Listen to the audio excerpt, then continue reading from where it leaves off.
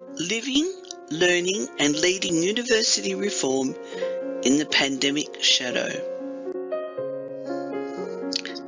In 2020, COVID swept the world by surprise.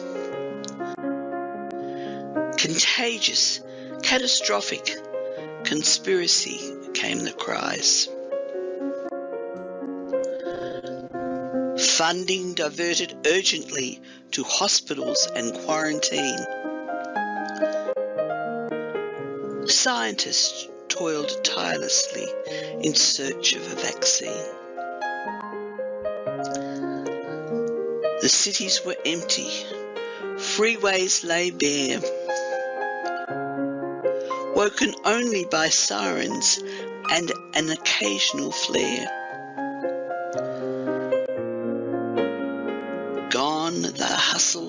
Bustle of laneway cafes. Out of work actors lamented closure of plays. News broadcasts recycled daily death tallies. Hospitals spilled into streets and side alleys. The stench of death hung in the air and surrounds. Pop-up morgues appeared in car parks and grounds. Supermarket shelves lay empty and bare. Not a toilet roll could be found anywhere. Panic buying exposed life's ugly side. As fights over products saw greed replace pride. Social distancing and community bubbles banned family visits and grandparents' cuddles. Birthday celebrations were confined to home, and those in aged care were left to suffer alone. Faces of children were glued to small windows of high-rise apartments that cast menacing shadows. The pubs were off limits, food supplies low. Some feared a hot summer, others braced against snow.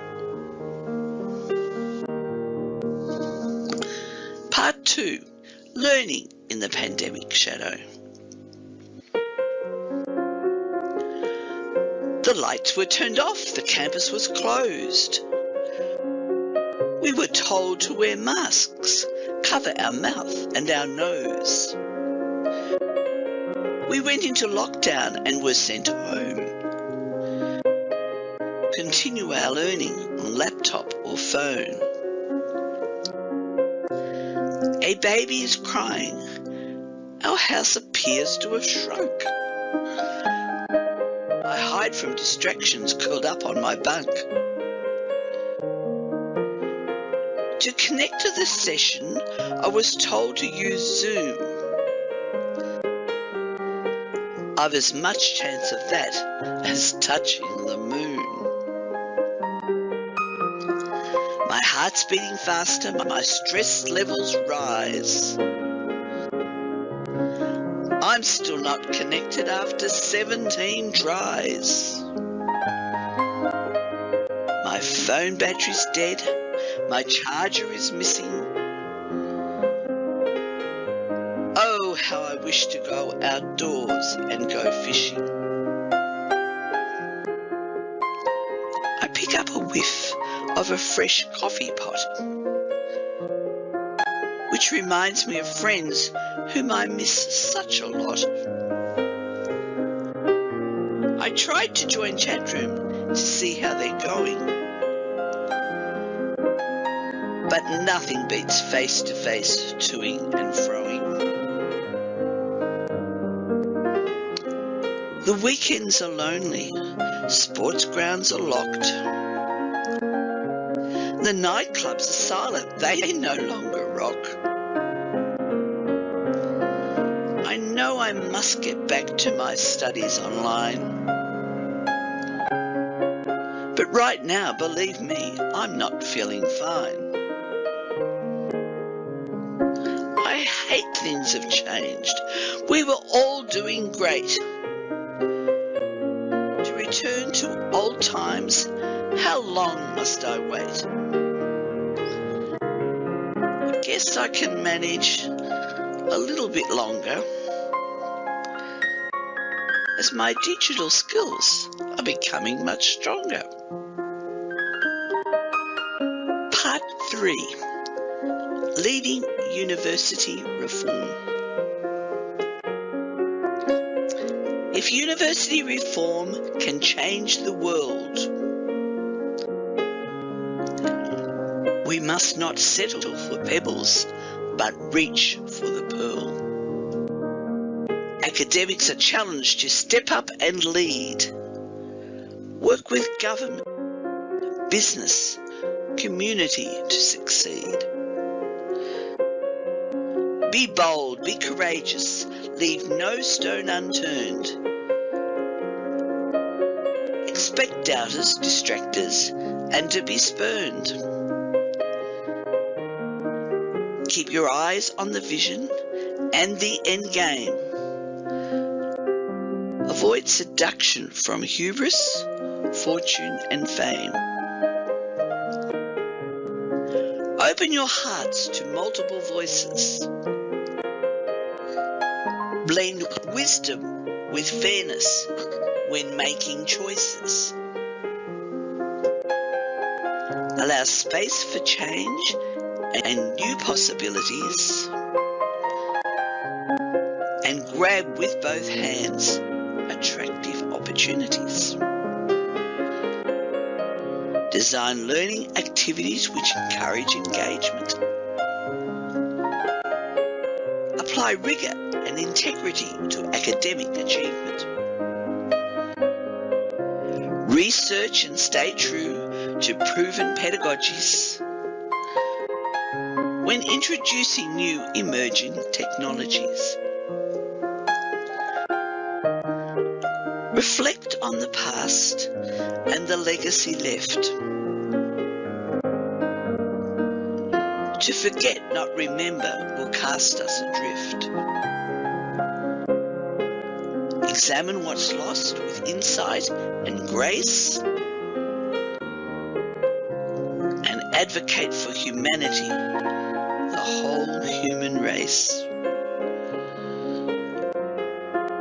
Reform will be hard. You may not like all you hear. Stay focused and calm and keep your mind clear.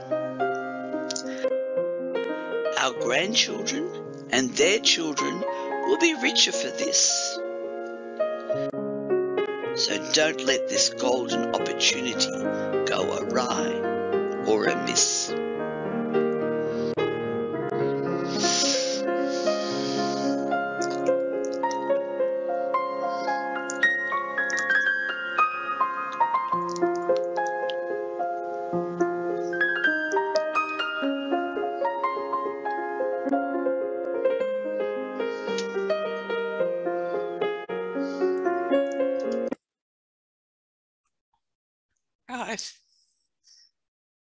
Thank you. I can you hear me? I hope you enjoyed that. It was a different perspective on on looking at um, how we interpret research and how we present the research, and uh, it was a lot of fun to do.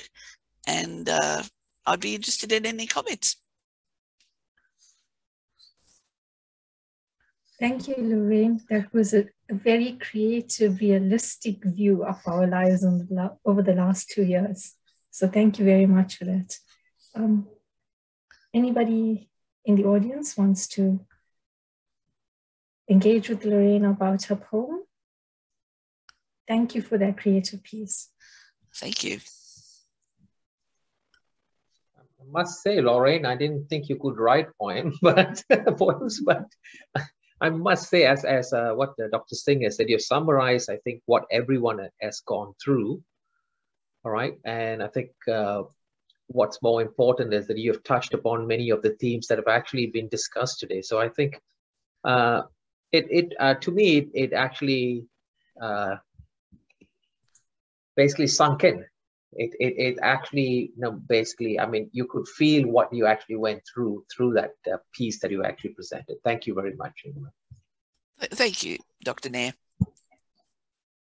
There's quite a few comments um, on the chat, Lorraine. So oh, I'll have a look. Commenting that it's a beautiful poem, very creative and emotional, very deep. Thank you, Lorraine, for an amazing piece. Oh, oh yes. We look forward to more creative pieces in the next edition, Lorraine. Keep the writing going. Thank you. Right. I think that's a challenge to you, Lorraine, that I think next time we want another one. right, right. I've, I've written one from the teacher's point of view as well, so another time. next edition. Yes. Okay, um, Prof. Nair, should we move to the closing? Yes, please do. Okay. Um, so everyone, we are doing a short closing ceremony at this point in time to cater for our international audience. And uh, but I but the conference itself is not over. So we will have lunch after this, and I have a very special keynote speaker from the USA, Prof. Mishra. Uh, for those of you who know the TPACK model or TPACK framework, he was the developer of this TPACK framework. And this framework brings together the technology, the pedagogy, the uh, content knowledge, um, all, all together into one component when we're looking at e-learning. So we still do have a very interesting keynote speech post the lunch session and a few more research presentations. So I want to start off by saying that I personally was reflecting on our situation a year ago when we were all so anxious and uncertain about how virtual conferences are going to run. And I watched a number of colleagues at this edition who were present last year. And I'm so excited to see how they have developed in terms of their comfort, in terms of their proficiency in participating in these virtual conferences. So for me, this is a great example of academic empowerment and upskilling in a practical sense. Well done to all of you uh, who have made this leap into the online world. My thanks commences with my gratitude to Prof. Nair for his guidance and support and mentorship in hosting the second edition of Digital Conference. To our associates, that's VIT, eMERGE Africa, Amity Mauritius, a thank you to all of you for your participation and your support. We have had three very uh, powerful keynote speeches and one more to come. So our you you're off. Sorry? Can't hear you. Yeah, okay, back. To the reviewers who have taken time to provide us with high quality academic reviews, thank you to all of you.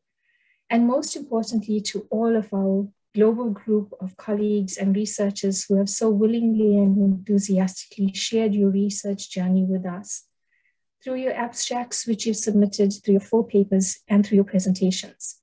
Without you, there would have been no conference. Thank you to the session chairs for your dedicated efforts in managing the sessions, especially keeping to time. And to the non-presenting attendees, thank you for your active engagement. Final thanks go to the organizing committee for their dedicated efforts and for their support throughout the year.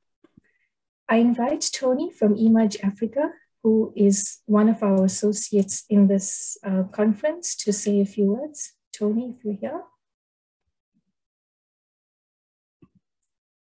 Okay, if Tony's not here, uh, Prof. Bhunjun, who is the Vice Chancellor of Amity Mauritius, Amity Institute of Higher Education was also an associate for this conference. Would you like to say a few words?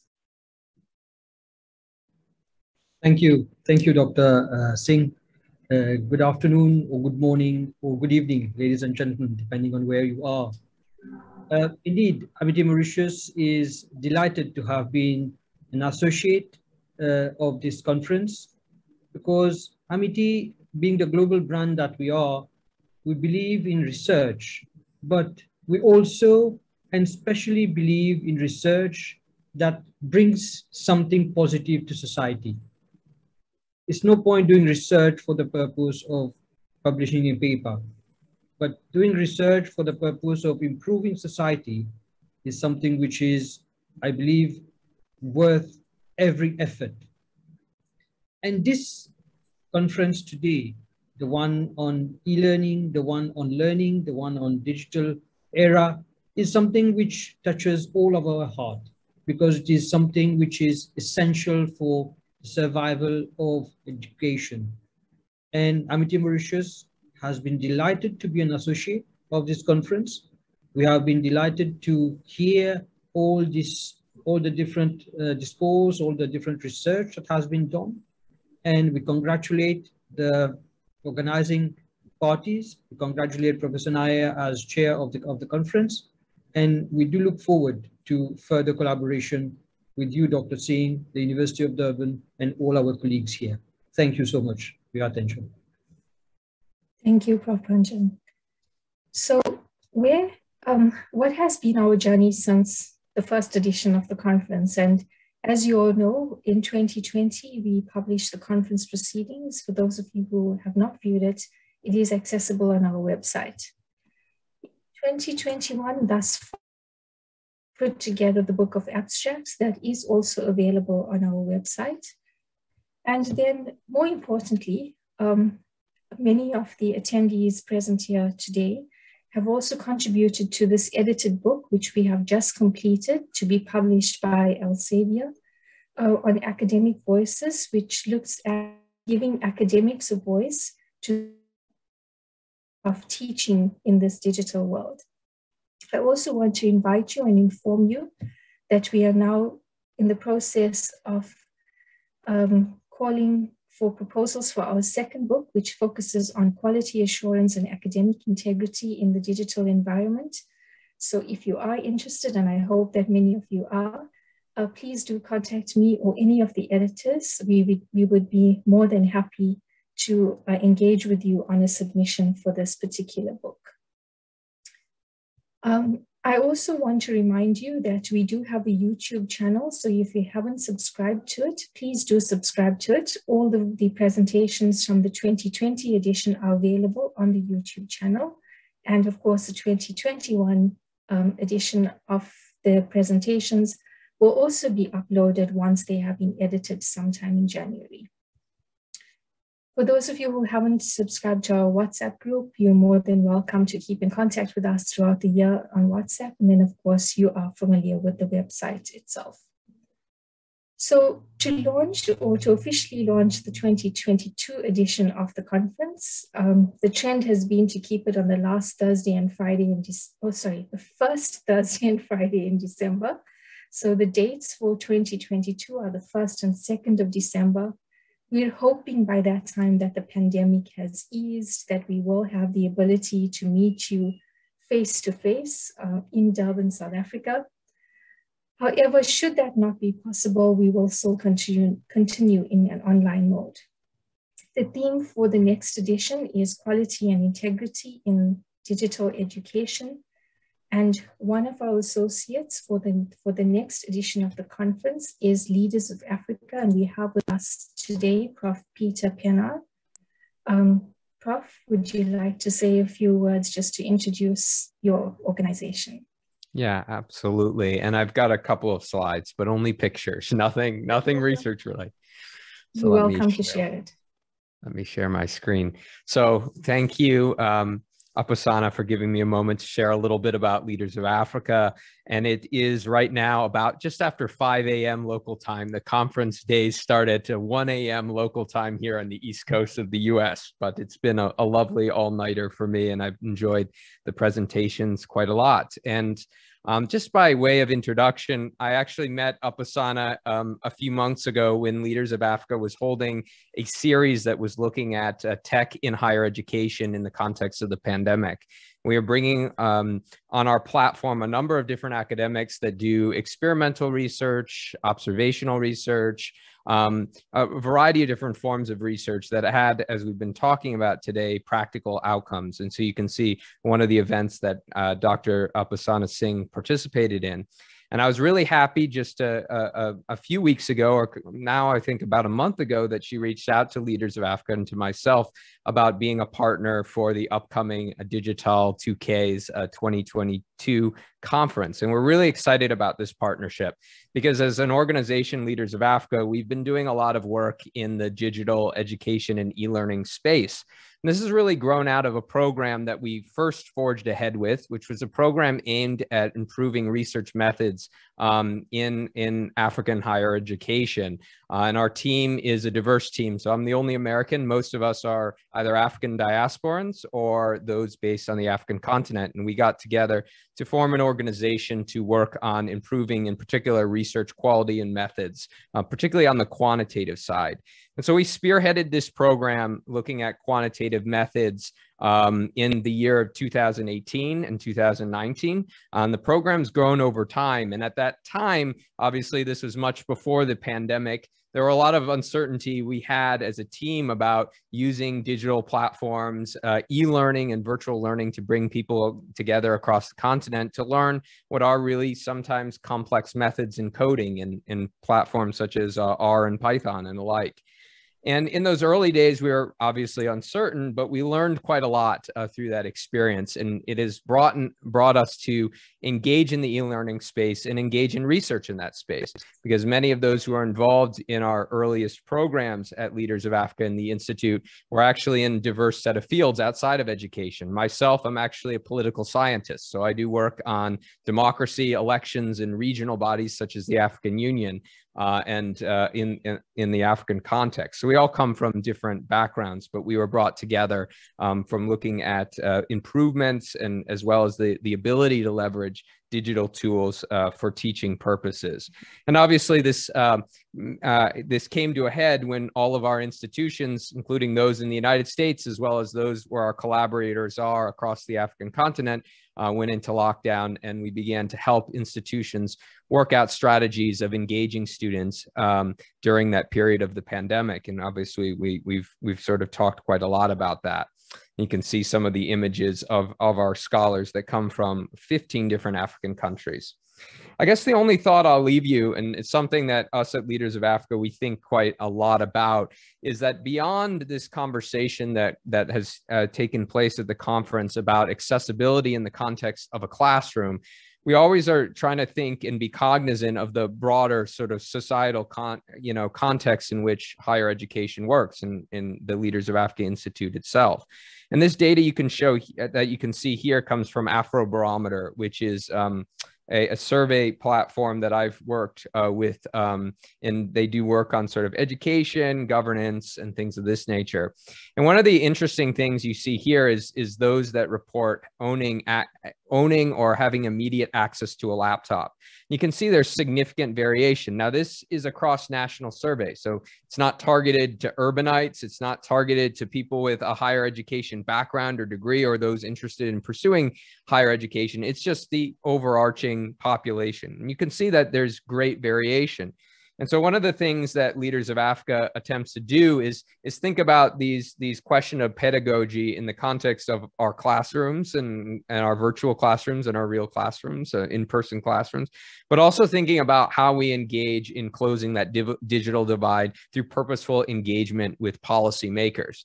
And I like in Lorraine's uh, poem that uh, she just shared, this important uh, intersection that, that academics can have with leadership. And sometimes us academics academics, we're not always great with interacting with policymakers, and we're sometimes not always um, see, viewing ourselves in uh, ourselves as policy leaders, and particularly having a, a large and amplified voice outside of our immediate settings. But at Leaders of Africa in the Institute, we put an emphasis on research that that has a direct influence over policy uh, in the education space.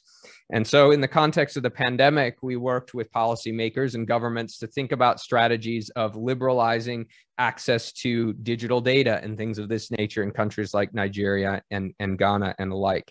And so, we do a lot of work in the advocacy space above and beyond the research that we do in education. And I guess the, the last thing I'll say is that we also do research and we sponsor research ourselves as an institution. We have actually going to the field next week a national survey in Cameroon that relates to digital education in the country as well as educational opportunities. It's led by one of our fellows at the Leaders of Africa Institute, who's the Vice Dean of Student Affairs uh, at in the Department of Education at the University of Buea, which is Cameroon's uh, number one speaking uh, English speaking university. Um, so we do a lot of things in the education space, and we know that uh, many of you, some of you may have heard of Leaders of Africa in the Institute, but some of you have not. But we really invite you to engage with us uh, as we uh, move forward with our partnership uh, with the conference next year. I'm going to put some links to subscribe to our mailing list, and we also have a platform we like to use, which is called Discord. Uh, it's a chat platform. It's kind of like WhatsApp, but the only difference is it works in channels. So you can have channels for different topics of discussion. We find that that works well for our, our scholars and fellows at our institute, as well as engaging um, a lot of folks uh, on, on a number of issues. So I'm going to share those links uh, with you in the chat. But again, thank you, Upasana, for this opportunity to share a little bit about Leaders of Africa. And we're really excited uh, for the conference coming up uh, next year. And hopefully, fingers crossed, we'll be together in the same time zone uh, in Durban.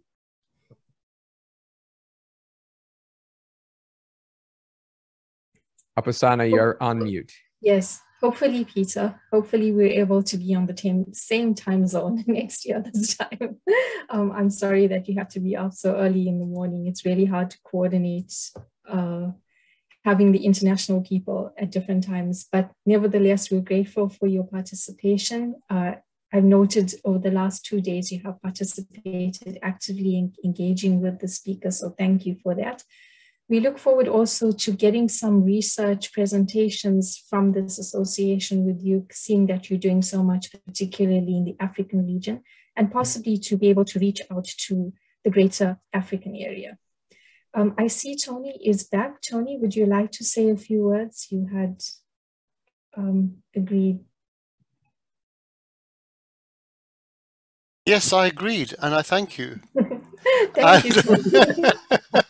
and thank you so much to the amazing organizers of this conference um, and to the presenters. There have been some marvelous presentations, keynotes, conversations that have taken place here, a lot of ways of tapping into a lot of local experience, insight, and research that you wouldn't have got in many other conferences.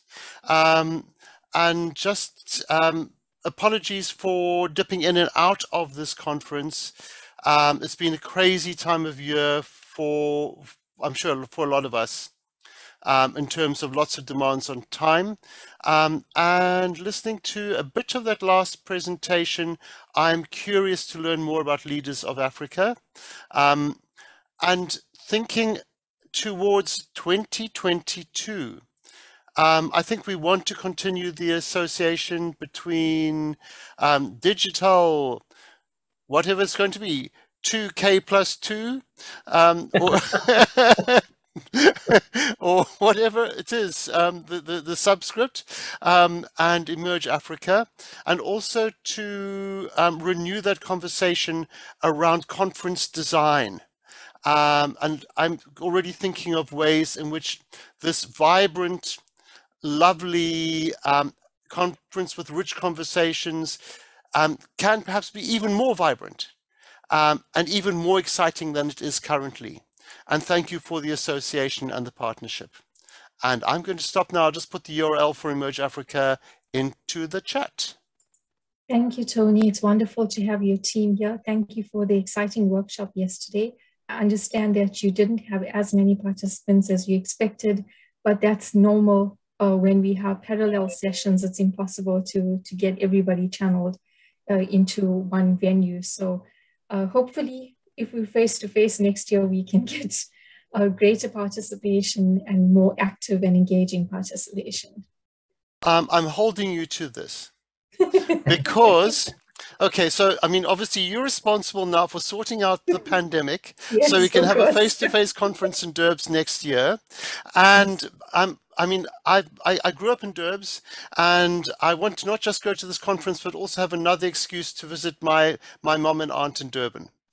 And to Thank swim with the dolphins. I remember that from last year. Yes. Great. so I have a year in which to develop a vaccine to eradicate COVID and pray that I do succeed in my mission. You So, can do um, it. We're almost at lunchtime. Um, I know a lot of the participants want to know when the proceedings will be out. They will be available by the end of December. We're working really hard to get it together. Your presentation and attendee certificates would also be sent to you over the next few days. Um, Prof. Nair, last few words from you. Okay, thank you. I think, uh, yes, I, I was going to mention the conference proceedings. There's actually two publications that come out of this particular conference. And that's one is the Book of Abstracts, and the other one is Conference Proceedings, which actually has, uh, I think, 20 uh, refereed journal, uh, refereed, uh, double-blind refereed papers in, coming out as well. Uh, there's just one thing that is missed in this equation, and Dr. Singh keeps doing this. Uh, the nucleus of this conference is Dr. Singh. All right. She is she is she is the main person that holds this conference together because it's hosted in Durban, South Africa. All right. So she does lots of the running around, but right now she does the running around in the house. She's not allowed outside the house in the sense. But I must thank her, and I think we all must thank her because she has done this second time in a row because of the of the COVID as such. And the organization has been splendid, uh, uh, very, very uh, fluid and smooth.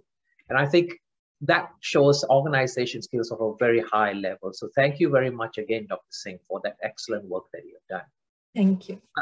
I think what I want to say is, I mean, she said the thank you to everyone, but I think what you need to realize is if you don't come in and actually present this work, this conference doesn't exist. And Dr. Singh and I came up with this idea because this was a gap that we wanted to fill. We wanted to fill the practical, what they call aspects of research, especially in, in the region, all right, but bring in global, uh, what they call uh, visions into that region itself. And I think we have achieved it and it's growing year by year as such. It, it reminds me of an English proverb that, that necessity is the mother of invention. And if you think about it, your research is adding or fueling that particular need of us to try and actually understand and try to improve ourselves in a digital world. A question came out in a recent uh, keynote address that I had to do in a workshop, and I think Dr. Singh and I were involved in it. And the question came out is, where are we going? Are we going back to our normal situation of a face-to-face? And I was quick to the answer, absolutely not. The digital world is here to stay. And I think it's going to be more digital and less face to face. All right. In other words, blended, but I would say it's a 70% digital and 30% blended. And that is changing. And in Australia, we are trying to get our students back into classrooms and they're refusing to come in because they are now, they, they, they first opposed it. Now they actually embrace it. So there's a difference. There's a difference in dynamics. There's a difference in the way they're learning and they're appreciating the ability, the flexibility of online learning. And I think this conference will keep dragging in those aspects in and actually allow us to exchange the information, hopefully take one or two ideas back and implement it as such anyway. And next year's conference is what I think both of us actually know, Dr. Singh and I have discussed is it's something very dear to our heart, especially quality and integrity in the digital education world, because this is where it's going to lie did the institutions, global institutions, deliver what they're supposed to deliver? And the graduates that are coming out are actually engineers or computer scientists. Can they do their work?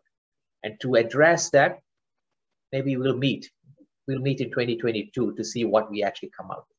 Thank you very much. Over to you, Dr. Singh. Um, thank you, Prof. Nair, for those closing words. I, I don't have anything further to say, but just to remind you that the conference still continues. We have lunch from 12.30 till 1, uh, and then we have our keynote speech thereafter. We um, invite you all to just join us if you want to in this immersive view, just to, to switch your videos on, say goodbye, for those of you who want to uh, switch your videos on, you're welcome to. It would be lovely to see all of you again. And we uh, close at about 4 p.m. today. We look forward to seeing you next year. Okay, so it's officially lunch break. We return to this main venue at 1 p.m. South African time, which is in 30 minutes time, and we will continue with the keynote speech thereafter. Okay, it's good to see everyone. Thank you for a wonderful conference. Thank you.